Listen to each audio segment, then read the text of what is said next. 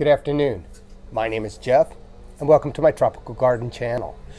Uh, today we're going to talk about coffee. And as many of you know, I grow coffee in my backyard, Modesto, California Zone 9B. Um, but we're going to talk about Kopi Luwak coffee. Kopi Luwak coffee is claim to fame. It was in a movie called uh, Bucket List with Jack Nicholson, where Jack Nicholson just loved his coffee. Uh, special coffee was expensive. Uh, and at the end of the movie, he discovered that that coffee was made uh, by feeding jungle cats uh, coffee berries and went through their digestive system, which made it very special coffee. The coffee beans were then processed like regular coffee, and also made it the world's most expensive coffee. Um, anywhere between 175 to 100 dollars uh, a pound is what that coffee sells for. I'm not going to process it the normal way. As a matter of fact, I have a couple coffee trees here. They're not old enough to produce fruit. Probably got another year to go. But Christmas time, I got a gag gift, Kopi Luwak coffee. You take a look. It's I looked online, $75 a pound. So I decided, I promised the relative that I would, uh, they gave it to me, I would try it and do a video on it. So here we go.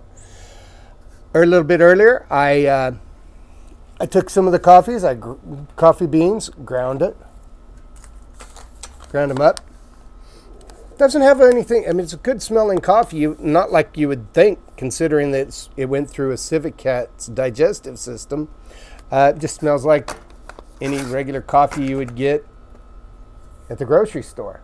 So I put it through my espresso machine and uh, gonna make me a, a little cup.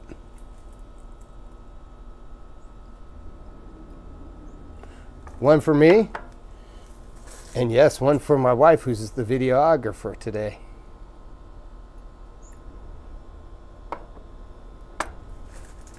So, Are you really going to do it?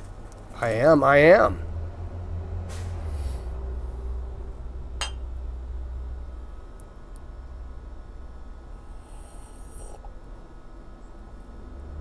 It's not bad.